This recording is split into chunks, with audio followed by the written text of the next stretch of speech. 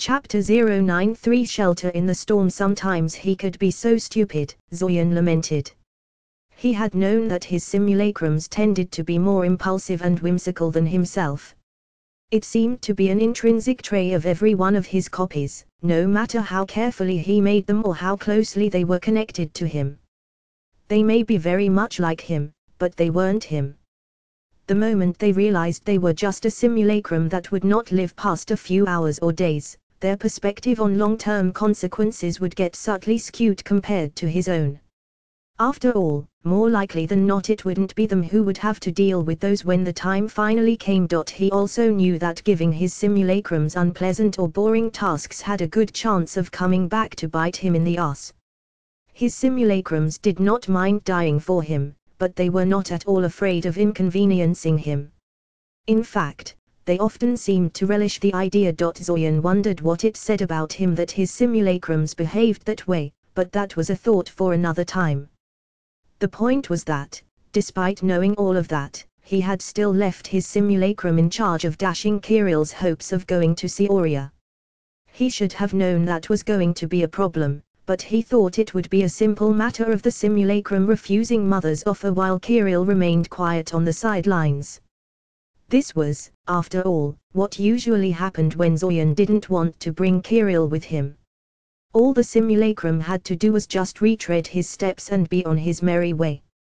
Instead his copy got bored and actively sought Kirielle out to hang out with, wasting their precious mana on frivolous entertainment, and then got all emotional when it was time to say goodbye, ah.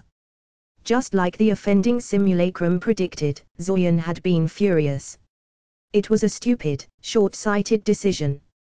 Yes, sending her off to Koth with their parents would be a massive disappointment for her, but at least she'd be out of danger.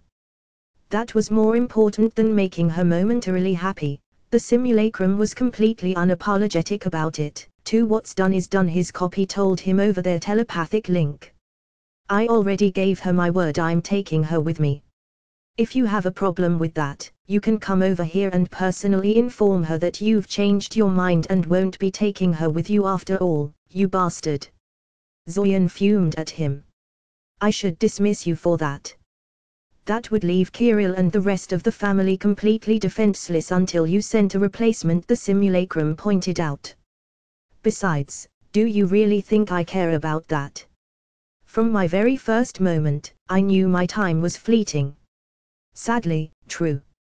Since his simulacrums were willing to die and sacrifice themselves for his sake, the thought of dying did not bother them much. Thus, threatening to unmake them was largely ineffective I just don't understand why you did that Zorian complained.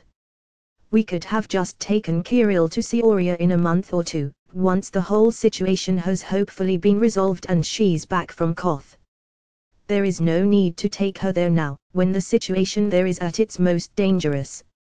When, if not now, the simulacrum disagreed. Even if we can resolve everything and save the city, the consequences are bound to be immense. Even a failed invasion will make our parents perceive Cyoria as a place of unspeakable danger. You think they will let her live in the city after that? Even for a few days. Come on. This is probably the last time we can plausibly take Kirielle to see Aurea without literally kidnapping her. Zorian frowned. He hadn't really thought of that. It was true that no matter how the situation with the invasion was resolved, it was bound to complicate things. Plus, now that he thought about it a little, Kirielle would have to go back to school at some point soon. It wasn't like she could visit a different city for several weeks at a time, then. Come to think of it, that was probably the reason why she was so excited to make this trip with him now. She knew this was one of her last chances to experience something like this in the near future, he sighed internally. For all of its blessings, he sometimes worried that the time loop had damaged his thinking. For more than a decade, anything that did not resolve itself within the span of a month was largely irrelevant. He did consider the future a lot, but that was all highly theoretical and often directed at the far future rather than something only a few months later. Still, even with all of that in mind, bringing Kirielle to the epicenter of their clash with Red Robe and Silverlake was simply a terrible idea besides his copy continued. By bringing Kirielle along we actually have a legitimate excuse to rent a room at Imaya's place. Kyle is much more willing to trust us if we come along with Kirielle. And it's not like we don't have a plan to evacuate those are just excuses you thought up afterwards to justify your decisions Zorian told him well, yes the simulacrum admitted after a short pause. Yes, I admit that. It's still true, though, and I'm not going to go back on my word. Our word. You promised you're not going to just forget her once we're out there in the real world. Now you want to just stick her on a ship to Koth and put her out of your mind while you do your stuff. That stuff is a matter of life and death and getting her out of danger doesn't mean I'm going to simply forget about her afterwards. Zorian snapped. I just want her to be safe. She's a prime target and I'm just a little bit busy at the moment. It's not the time for this. Forget it his copy side. I just. I won't do it, okay. I already said it. What's done is done. I'm not going to turn around and tell her it was all a mistake and that I changed my mind. It would kill her. If you think this is such a huge mistake, come over and do it yourself. Go tell her that her dream trip is cancelled, I dare you. The simulacrum then terminated their connection, signaling it considered the conversation over. After taking several deep breaths and calming down somewhat, Zorian decided that the simulacrum was right about one thing, he should definitely be dealing with this problem personally. As he noted in his earlier lament, it was stupid of him to assign a task like this to a simulacrum to begin with, and only he could truly fix it. Or at least stop the problem from getting worse. Besides, there was no need for him to stay in Cyoria at the moment. Previously, he had been worried that his simulacrum would get dispelled in the fighting and that he would need to constantly replace them, but that was far less of a concern, now. The first golem simulacrums had been placed into service by now, replacing two of his ectoplasmic simulacrums with a more mana-efficient and resilient group. Golem simulacrums were very difficult to neutralize even punching a hole through the chest or blowing off a limb would not be enough to put them down for good. That extreme resilience, all by itself, should allow his copies to clash with the invaders and red robe simulacrums without fear. Additionally, he couldn't really afford to start anything big while Zach was still incapacitated and vulnerable. Taking some time off to figure out what to do about his family and friends was doable. Thus, not long after his argument with his simulacrum, Zorian found himself back in Cirin. He told the simulacrum to make himself scarce for a while and then seamlessly took over his place. Well, mostly seamlessly why are you staring at me like that? Kirielle asked him suspiciously, narrowing her eyes at him. You, you aren't thinking on going back on your word, are you? She didn't seem panicked, more outraged at the idea. She placed her hands on her hips and pouted at him in a way that was probably supposed to look angry but looked more like she had an upset stomach or something no take-backs, she declared, pointing her finger at him. Mom says that's not allowed. You said you're taking me with you, and I'm going. Zorian clacked his tongue in distaste.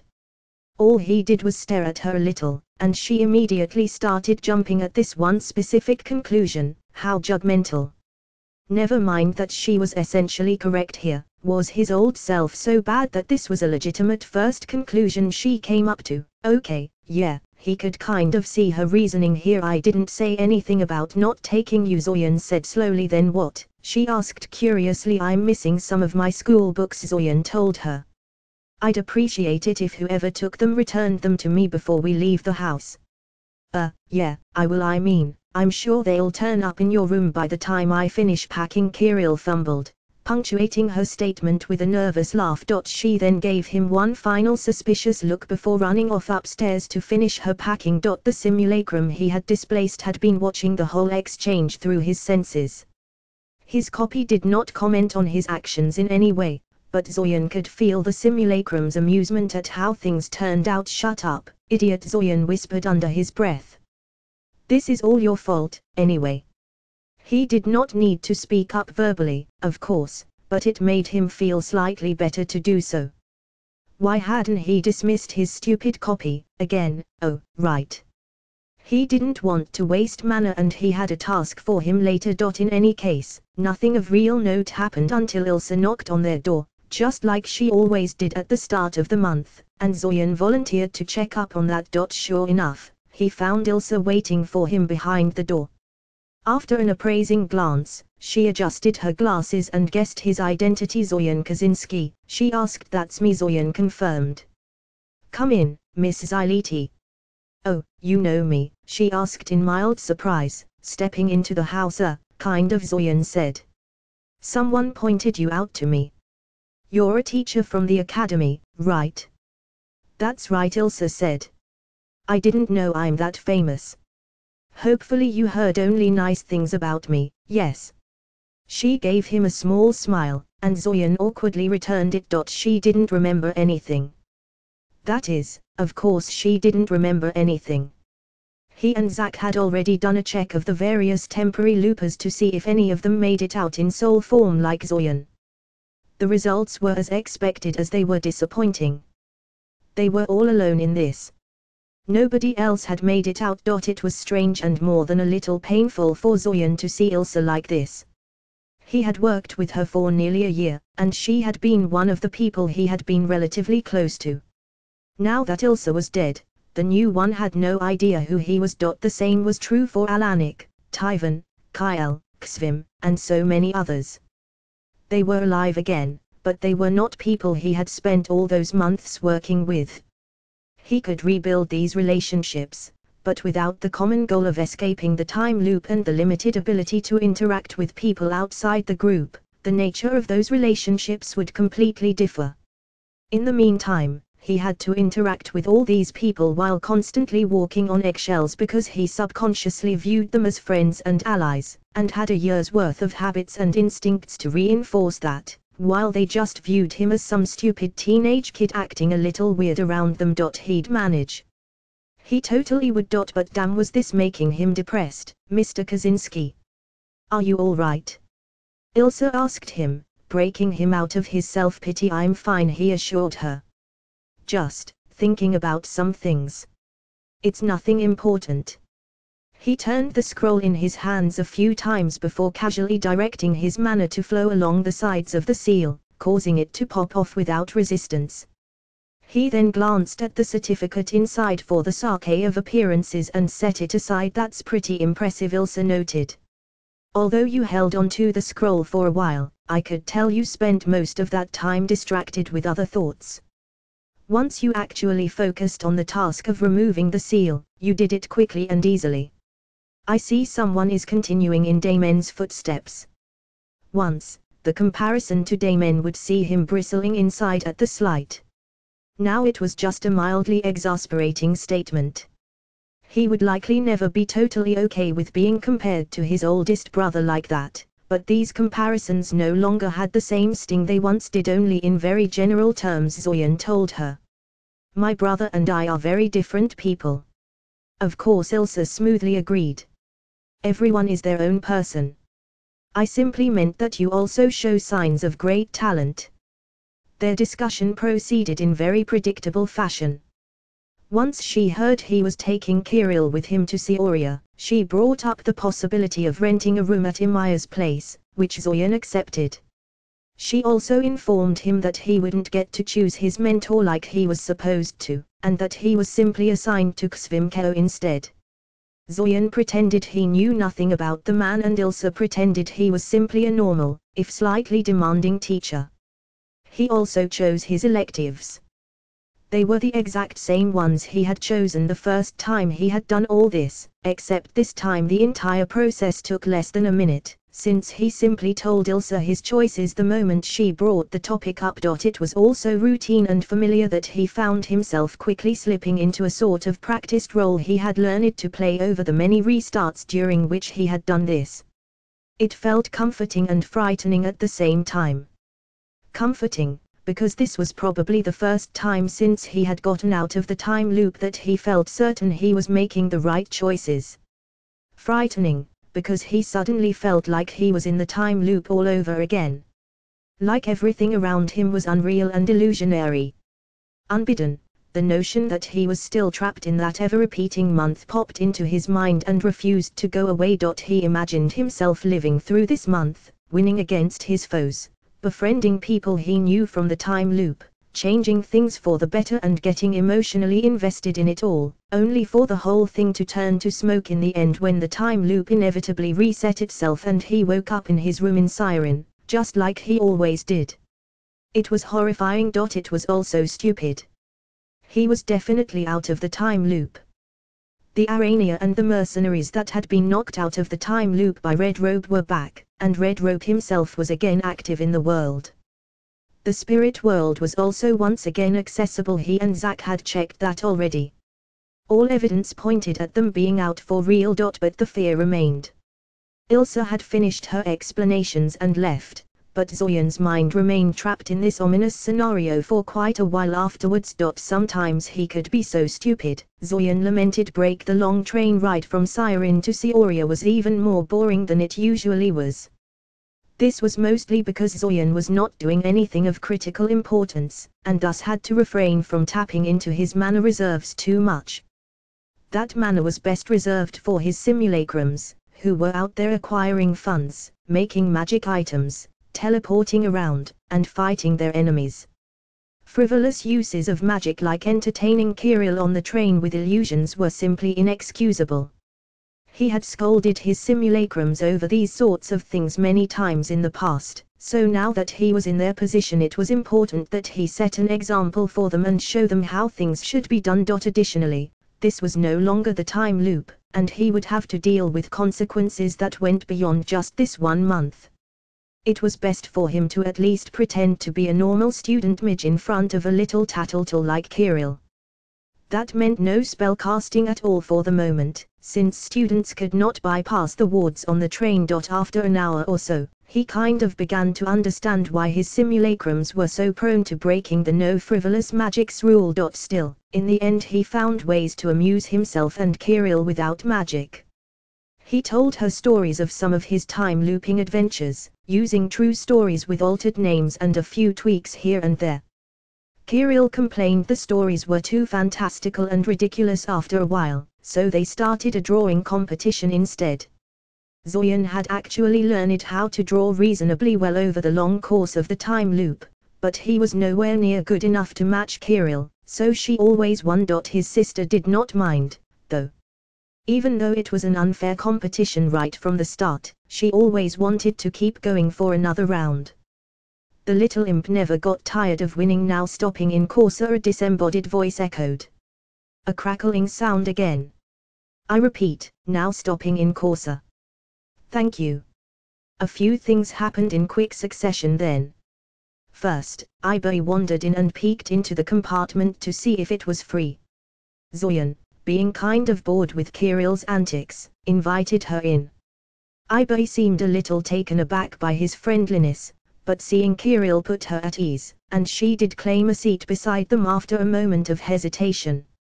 Then BYRN, a guy he had met way back at the beginning of his time looping experience, also wandered in and asked if a seat was free in their compartment. Zorian happily invited him in, too. Suddenly, the compartment had become a lot livelier than it used to be. Ibai was shy and quiet, and had immediately chosen to bury her nose in a book when she came in, but BYRN was friendly and talkative and immediately tried to strike up a conversation with them. Kirielle immediately started peppering him with questions about magic and the academy I'm Kirielle Kazinski Kirielle said, and that's my brother Zorian. Are you a student like Zorian? Can you do magic? What year are you? Is it true that you have to fight a giant spider in order to get admitted as a student? Zorian says that's a requirement, but I think he's lying, ha ha, um. I don't think I would have gotten in, if that were the case BYRN laughed. I don't think I could win a fight against the other students, never mind a giant spider. Lots of types of giant spiders Zorian noted. There's a whole bunch of them that you could easily club to death with a mundane weapon, so long as you keep your cool and don't panic. Oh. You sound pretty knowledgeable about that. Did you ever fight one for real? BYRN asked curiously yes, though not as an admission test, of course Zorian said. I told that to Kirielle just to mess with her a little. I knew it Kirielle pouted, folding her hands over her chest and giving him a grumpy look ah, so, I hate to shift the subject, but that last name, BYRN tried yes, Daimen Kazinski is our brother Zorian said with a shrug. We have very little contact with him, though. He mostly does his own thing and rarely visits. The conversation continued for a while after that, meandering from topic to topic. Even Ibai joined in after figuring out from BYRN's question that they were Fortov siblings. She did not actually bring up Fortov, however, which was probably for the best. Zorian would have been diplomatic, of course, but Kirielle disliked their middle brother as much as he did and would likely not have anything nice to say about that topic. In any case, the conversation eventually turned towards a particularly shocking event that occurred in Cyoria recently. Namely, the fact that Zach's place had gotten utterly trashed during his fight with Red Robe, and that he himself had gone missing for several hours while people frantically searched for him all over the city what? Someone actually attacked the Noveda mansion like that. I didn't know that Ibai said, surprised yes, it happened really recently. The attack happened very early in the morning, just a few hours ago BYRN said, nodding self-indulgently. He was clearly pleased to have acquired this news so soon after it occurred. Man, news sure does spread fast these days. I hear the fighting was really fierce. Some of the support columns were damaged, and several walls got breached. I heard repairs will take weeks. It must have been a really powerful force that launched the attack. The newspapers were saying only a fully equipped MiG regiment could have done so much damage so quickly but that place is right there in one of the better parts of the city, and Aunt Noveda an old, influential noble house. Ibai asked. How could a force of that size come and go just like that? Where were the guards during all this? Well, someone was clearly fighting the attackers and fought them off in the end, so presumably the guards were not useless BYRN shrugged. Besides, I hear the Noveda are not the same force they once were. My father says they are a mere shadow of their former selves. It's still crazy that something like this can happen. You know, Zach Noveda is one of my classmates Zorian said suddenly really. BYRN said, perking up. I don't suppose you heard more about this, then. I just know Zach is fine Zorian said, shaking his head. He wasn't present in the mansion when the attack occurred he was out drinking and dancing throughout the entire night. Or at least that was the excuse Zach had picked for himself as an explanation as to what had happened. They modified the memory of the healer that had patched him up, after leaving him a sizable anonymous tip for his services, so no one should be able to contradict his story.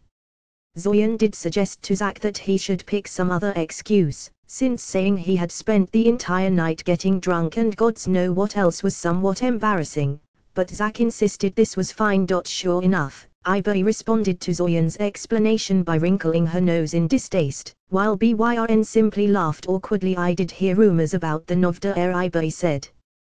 They say he's not exactly a model student, if you know what I mean. There is nothing wrong with his magic skills Zorian quickly said, feeling compelled to defend his friend. He's just a little reckless. Are you friends with this Zach? Kirielle asked curiously. How come I don't know anything about this? Why would I say something like this to a little tattletale like you?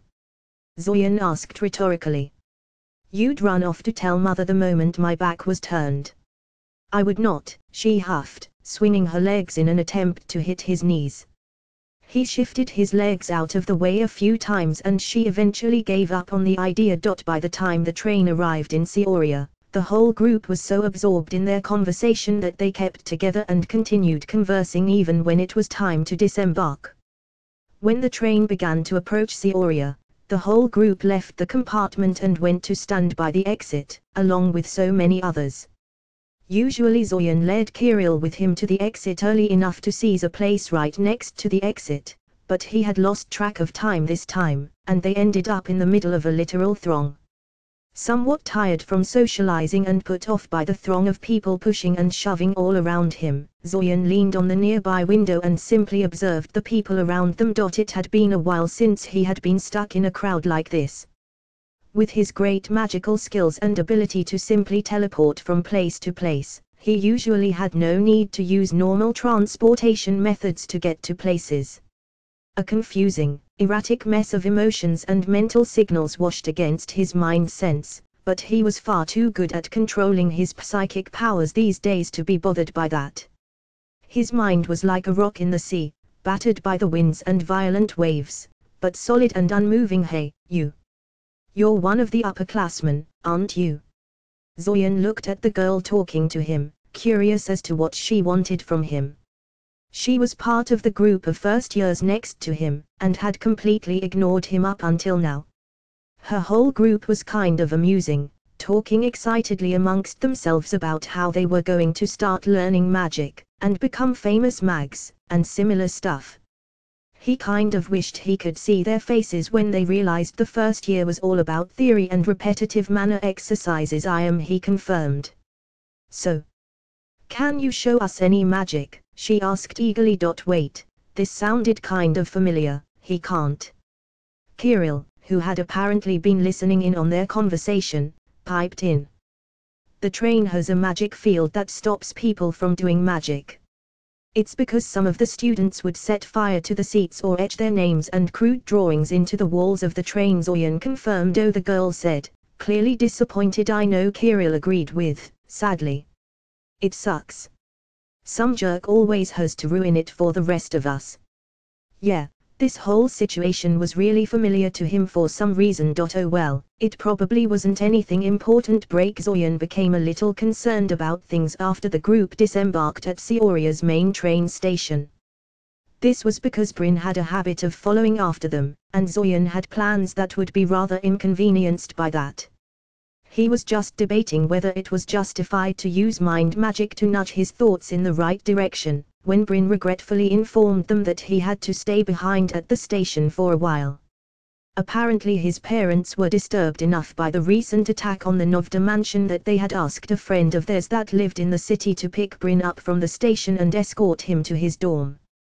Thus, Bryn would have to stay behind and wait for the man to show up. Zorian found it curious that Red Robe's attack on Zach had such far-reaching consequences.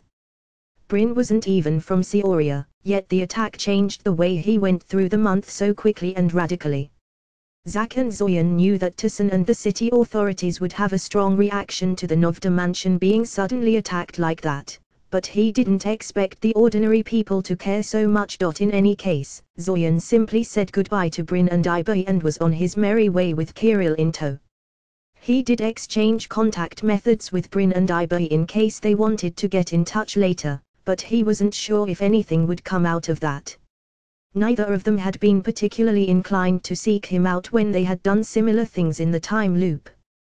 With the world lasting longer than a month, though, perhaps that would change. Only time would tell. Zorian didn't take Kirielle immediately towards Imaya's place, though. Instead, he took her to a familiar bridge in one of the city parks. There, a small black-haired girl was crying her eyes out over a bicycle that had fallen into the creek below. Dot Kirielle watched quietly from the sidelines as Zorian slowly calmed Nochka down and got her to explain why she was crying. This done, he placed his hand over the bridge and telekinetically lifted the bike out of the water. He also casually cleaned it up a little, ignoring the chorus of complaints from his simulacrums that he was being frivolous in his mana use.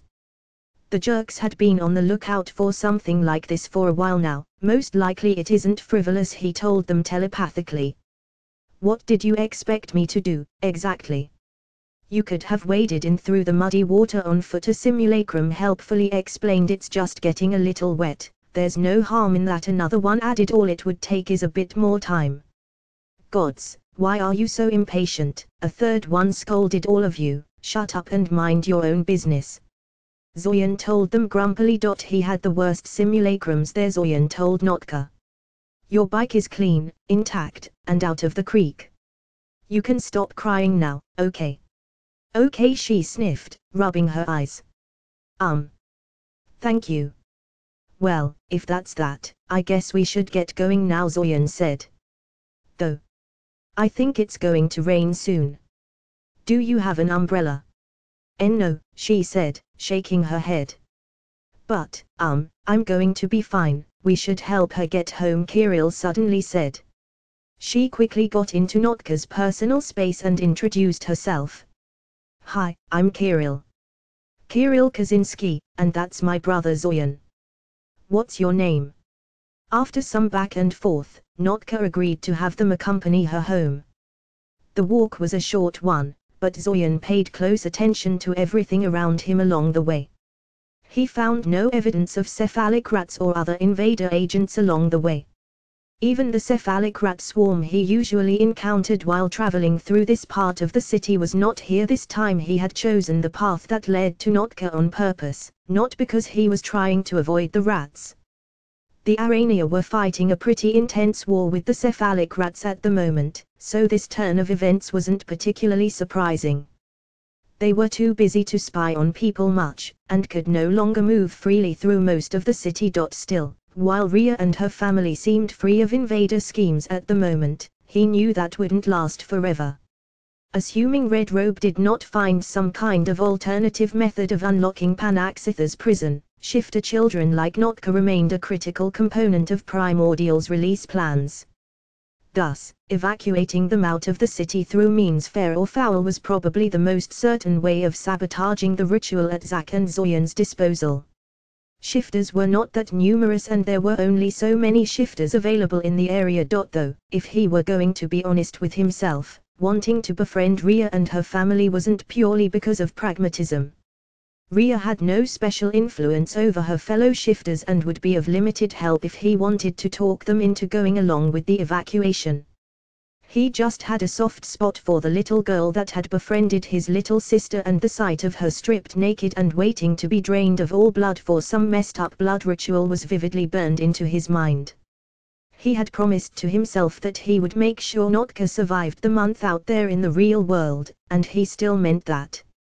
He meant to save all the shifter children, of course, but making sure Nochka was safe had a personal dimension for him. Since he had already thrown away his good sense and taken Kirielle to the death trap that was Cyoria, he may as well introduce her to her former and future friend. At least if they started hanging around each other, he could more easily protect the both of them without spreading himself thin. The actual conversation with Ria was pretty mundane. Nochka's mother was pretty friendly, and Zorian did not confront her with any heavy topics. They simply talked about who he and Kirielle were, how they had met Nochka, and where they were staying. Kirielle almost ratted out Nochka on dropping her bike in the stream, which caused the little cat shifter to panic and hurriedly shut her up, by manifesting her claws and clamping down on Kirielle's arm. This caused Ria to freak out because Nochka almost ruined their secret and hurt a guest, but the situation was thankfully resolved in the end, and Zorian pretended not to have noticed anything strange about the incident. Interestingly, Ria also brought up the news of Zach's place being attacked, just like Bryn did. She didn't have any new information for Zorian, but it did emphasize how notable the attack was for people. Zorian wondered if Red Robe even realized how eye-catching the whole thing would end up being you are classmates with the Noveda Ria asked. My, I seem to have met an important person today. Not, really. Zorian said dubiously come now, Mr. Kazinski. You have a famous brother, you attend a prestigious magical academy, and one of your classmates is a scion of a noble house Ria pointed out too, actually said Zorian. There was also Tinami. I don't think any of that makes me important. Ria hummed loudly at him, clearly not agreeing have it your way she shrugged. She rose from her seat and took a look at the weather outside. Things didn't look good of course. The rain was pouring in thick sheets while the wind was blowing madly in all directions, and Zorian knew from the time loop that the storm wouldn't be ending any time soon. This was the main reason Zorian was less impatient about leaving Ria's place this time around. He couldn't just teleport to Imaya's place or create a rain shield around himself and Kirielle.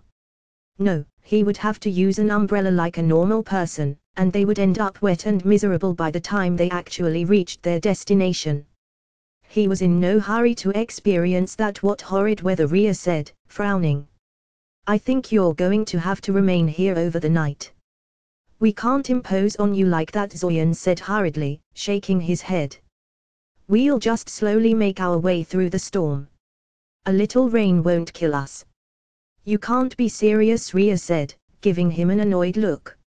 I know teenage boys can be a little reckless, and I would not have said anything if it was just you being stupid, but you're taking your little sister along and you have to take this into account. Are you seriously thinking of taking her out there into that with just an umbrella? Zorian stared at Ria for a few seconds before looking at Kirielle, who was sitting on the floor with Nochka. They were both whispering something to each other and pretending they weren't listening in on their conversation. Kirielle Zorian asked her slowly. What do you think about going? Um, she fumbled, rubbing her hands awkwardly. It's raining pretty hard. Zorian sighed, taking off his glasses and massaging the bridge of his nose. After a few seconds he gave Ria an embarrassed look. He was just about to speak up but she put a hand on his shoulder to stop him and simply nodded her head knowingly I'll go get some blankets she said, before wandering off to do just that. Dot in the corner of his eye, he could see Nochka and Kirielle excitedly whisper to each other. They, at least, seemed pleased with this outcome. After a few seconds, Zorian clacked his tongue and decided to just roll with the situation. It was embarrassing, but there was no real harm in it. He looked through the window, silently observing the storm for a while. After a while, Ria wandered in and placed a steaming cup of tea on the windowsill beside him. Zorian gave her a curious look. A cup of tea is necessary for proper rain watching Ria explained to him. Ah. Thank you Zorian said quietly. Sorry for the imposition. I could tell it was going to rain, but do I look that mean and selfish to you? Ria asked, raising her eyebrow at him. Hospitality had always been important to my people. Your people? Zorian asked her curiously, feigning ignorance your acting skills are decent, but I know you saw the claws on Nochka's fingers. You probably know what we are Ria said, sipping slowly from her own cup of tea while standing beside him Yezoyan admitted with a shrug. It doesn't bother me. Good said simply. She then dropped the subject and no longer pursued the matter. I don't know if this is really the issue, or if there is something deeper going on, but it's pointless to get angry or frustrated at a storm. It's a force of nature, there is no fighting that. You just take shelter and wait until it ends. Right said Zorian quietly, taking a sip of the tea Ria had made for him. Sadly, some storms couldn't be dodged that easily break while Zoyan had been escorting Kirielle, his simulacrums had been very busy. They, along with Zach's simulacrums, constantly attacked known cult leaders and invader bases, raiding them for funds and trying to decapitate their organizations. Sadly, this hadn't been nearly as effective as they had hoped. Red Robe had clearly been very busy and most of their targets had been forewarned they were coming. Warding schemes were changed, the guards were on alert, and some people were just outright evacuated to safety they had managed to acquire a lot of money and resources, since many of the secret caches had been protected mainly by their secrecy, and it wasn't easy to strip a base of everything that was worth money in a hurry, but Zorian doubted they had managed to deal any kind of decisive strike to their enemies. Below the city, the fighting was also intense. It was mostly the Aranea fighting the cephalic rats, but Zorian's simulacrum sometimes helped the Aranean side, and since Zorian's uncontested presence would have meant a decisive victory for the Aranea, Red Robe's simulacrum was always there to stop the cephalic rats from getting wiped out. Neither Zorian nor Red Robe were fighting seriously, wary of showing the enemy too much and wasting their mana reserves, but the fact Zorian's simulacrum had a much more resilient golem body meant that he was slowly getting an upper hand in these skirmishes. It remained to be seen what Red Robe would do in response to that. Zorian doubted he would let the cephalic rats just die, since they were a critical asset for the invasion forces. The simulacrums were also negotiating with various Aranean webs in the region, trying to bring in additional support for the fight. Of particular importance were the negotiations with the Silent Doorway Adepts, since they needed their help to open a connection to Koth. Zorian did not doubt for a second the negotiations were going to succeed, they had lots of things they could tempt the silent doorway adepts with. The Bakora gate addresses in particular were bound to have irresistible allure for the web. However, the issue was that these negotiations would still end up taking time, and they had to keep the web protected from enemy machinations while they were in progress. Silverlake knew exactly how important this was to them, so an attack at the silent doorway adepts was worryingly plausible. Some things were also moved forward a little. Kyle and his daughter had been contacted by Zach's simulacrum disguised as a school official, who teleported them directly to Imaya's place. This was mostly because Zack and Zorian were worried that Silverlake, whose movements were still a mystery to them, was going to target them. Kyle and his daughter were too easy of a target to be left alone for long. Thankfully, Kyle did not suspect a thing and even praised the Academy for their thoughtfulness. Zorian intended to evacuate Kyle to Koth once he opened the gate link there, but for now he was safest at Imaya's house, since that way he would be living under the same roof as Zorian and Kirielle. Meanwhile, the simulacrum that got Zorian in the whole trouble with Kirielle got a task to get his parents away from the house as soon as possible. Thus, less than an hour after Zorian and Kirielle had boarded the train to Cyoria, the simulacrum rounded up mother and father and teleported them to the port city of Luya. Their memory was modified to make them believe this was perfectly normal. It would create some discrepancies in dates, that could be a problem later. For now, though, Zorian was just glad they would soon be out in the open ocean and out of danger. He'd deal with potential consequences of his decision later. The simulacrum in his room that was focusing on stabilizing his mana reserves was also evacuated out of the house, leaving it completely empty. Even if Red Robe decided to visit the place now, the most he could do was burn it down in frustration. Which would still be devastating for mother and father, but Zorian was quite sure they wouldn't want to die to protect it. Overall, things had been going decently. There was still no sign of Silverlake, and Red Robe was passively responding to their moves while focusing most of his energies into something they couldn't see. It made no sense to Zorian. The way he saw it, he and Zach had an absolute advantage in this conflict. Even if everything else failed, they could always inform the Eldemarian government about the invasion and it would be instant loss for Red Robe and Silverlake. Any chance of successfully invading the city or freeing Panaxith would be gone. No matter how personally powerful they were or what clever plans they had, they could never take on the central government head-on and win. Thus, Red Robe and Silverlake should have taken a far more aggressive stance against them by now. But there was nothing Zorian could do about that. All he and Zach could do was wait. Hopefully, by the time they recovered their full strength, they would uncover what their enemies were planning.